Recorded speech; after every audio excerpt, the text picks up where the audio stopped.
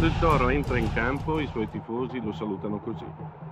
Un lungo, assordante tam tam si scatena dai popolari e giunge fino alle fiammanti maglie rosso-granata per rimanervi appiccicato per 90 minuti come fosse un impegno d'onore. Gentili ascoltatori, buongiorno. Dallo studio centrale Roberto Bortoluzzi. Sono sette i campi con i quali stiamo per collegarci. Torino per Torino-Cesena, Perugia per Perugia-Juventus, Como per Como-Lazio, Firenze per Fiorentina-Verona, Roma per Roma-Ascoli. Risultato dei primi tempi via Torino. Torino 0, Cesena 0, a voi Perugia. Identica la situazione a Perugia 0 a 0 tra Perugia e Juventus, a voi Como. Alcuni cenni di cronaca in rapida sintesi via Torino. Sì, qui siamo giunti al secondo minuto di gioco della ripresa. Il risultato è sempre di 0 a 0. Un enorme drappo bianco recante un grande scudetto tricolore Tricolore che è innalzato alle 16.30 secondi nel cielo dello stadio comunale di Torino trascinato da tre grappoli di palloni granata ed è salito altissimo fra, seguito da migliaia di spettatori commossi che ne hanno accompagnato lungo il volo con gli sguardi.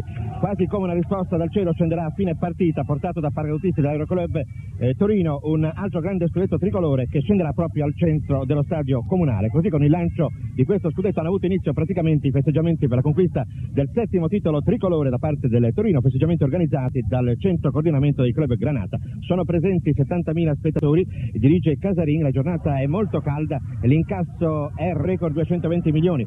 Intanto vi diciamo che nel Torino gioca Claudio Sala che come sapete domenica si è infortunato a Verona.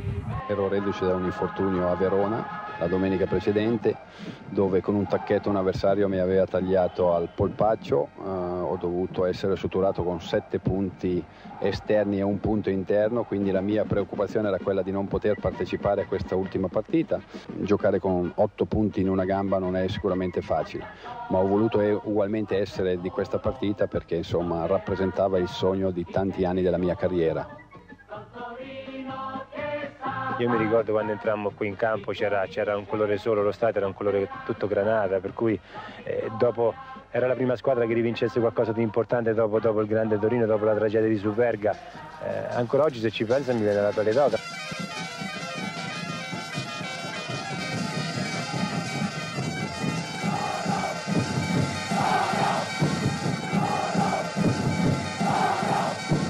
Subito le formazioni delle squadre. Il Cesena gioca con Boranga, Ceccarelli, Oddi, Festa, Danova, Cera, Rognoni, Frustalupi, Bertarelli, Bittolo e Urban. Per il Torino sono in campo Castellini, Santin, Salvadori, Patrizio Sala, Mozzini, Caporale, Claudio Sala, Pecci, Graziani, Zaccarelli e Purici.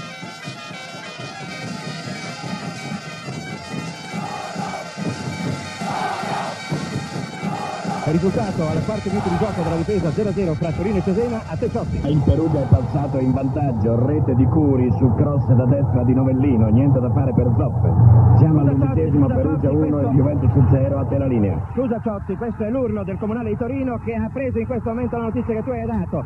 Ecco l'urlo del Comunale di Torino, sventoria di bandiere del Torino, la linea a Della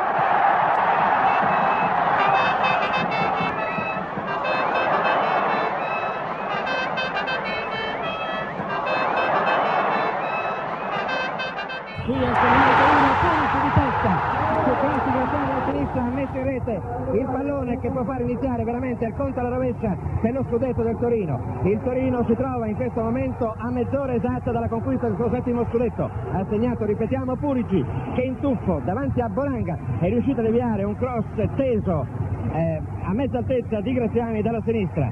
A te la linea. Quel gol col Cesena te lo ricordi ancora. Chiudi gli occhi, te lo vedi. Eh, quel gol col Cesena me lo ricordo, sì, so che c'è stato un cross lunghissimo, c'era Graziani, ha cercato lo stop, eh, gli è riuscito male, si è allargato un po'. Come ho visto che ha alzato la testa che metteva la palla dentro, mi sono buttato a corpo morto su questa palla un po' bassa. Rischiando? Sì, ma in quel momento penso che i rischi non esistevano, c'era solamente la voglia di fare gol per eh, appiccicare sulle maglie col benedetto scudetto e basta. In quel momento non era Pulici che era abbracciato, era lo scudetto che stava girando per il campo, che poi il gol l'ho fatto io, non cambia niente.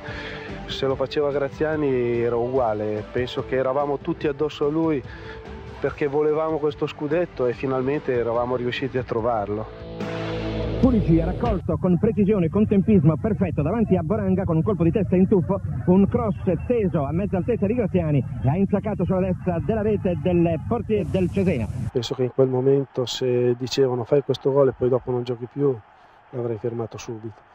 era una cosa che si voleva talmente tanto e da tanto tempo, poi ero già più di otto, quasi 8 anni, 7 anni, 7-8 campionati che giocavo nel Torino, quindi era un qualche cosa che avevi dentro, era come trasportare uno scudetto dal vecchio Filadelfia al comunale alla nuova generazione. Si sposta sulla destra e inseguito in questo momento da Pecci, cede la palla sulla destra per Frustalupi, Frustalupi in azione d'attacco cerca di lanciare i propri avanti, ecco che i difensori e c'è un'autorete, autorete da parte dei difensori Granato, un malinteso evidentemente fra i difensori e Mozzini ha messo la palla in rete. Mozzini con un colpo di testa ed è consolato in questo momento da Castellini. È stata una vera disavventura, c'è stato un lancio verso gli attaccanti da parte di Frostalupi, due difensori, eh, eh, Stanzi Caporale e Mozzini stavano inseguendo con lo sguardo naturalmente anche i due giocatori e arretrando verso la loro porta, il pallone è andato quasi a, a battere sulla testa di Mozzini e è entrato in rete. Pertanto il Cesena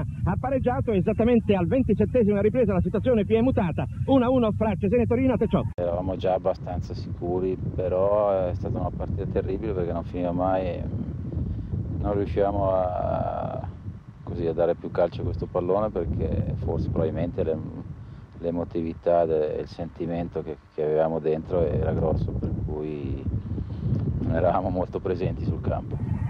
Proprio in questo momento l'arbitro decreta il segnale di chiusura dell'incontro, Torino campione d'Italia dopo 27 anni, un grande sogno si realizza, una grande impresa è stata portata così a termine. Devo dire che forse lo scudetto l'avevamo vinto soprattutto nelle altre 29 partite.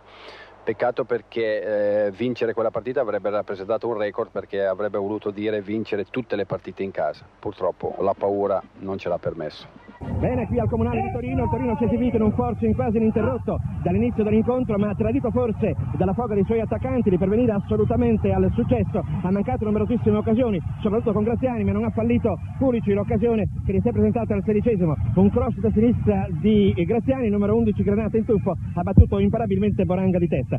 Scusa Mary, finale anche a Perugia, Perugia batte Juventus 1-0 a te la linea. Bene, io non posso altro che dirvi che qui al Comunale di Torino stanno per iniziarsi i grandi festeggiamenti organizzati dal centro di coordinamento dei Granata Clubs i giocatori sono al centrocampo, non c'è stata nessuna invasione, tutti con perfetta disciplina stanno attendendo appunto la grande festa. A te eh, Bortolucci. Il tifo qui oggi è stato veramente indescrivibile da parte di questi 75.000 spettatori. C'è stato il tutto esaurito, il tifo è diventato incandescente dopo il decimo minuto della ripresa quando è giunta la notizia che la Juve stava perdendo a Perugia.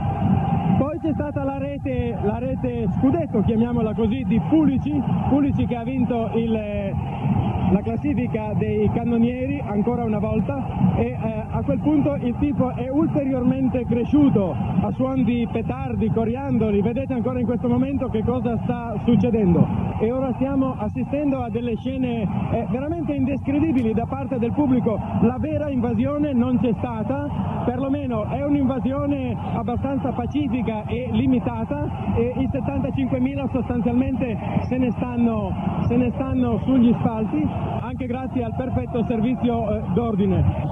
Stanno girando sulla pista del Comunale di Torino tutti i giocatori come vedete eh, tenendo su il tricolore il presidente Pianelli quasi portato di peso se così si può dire dato la mole non comune del presidente Pianelli è dovuto dicevamo eh, ripiegare immediatamente negli spogliatoi sorretto eh, da carabinieri e da amici in preda a un'emozione eh, grandissima.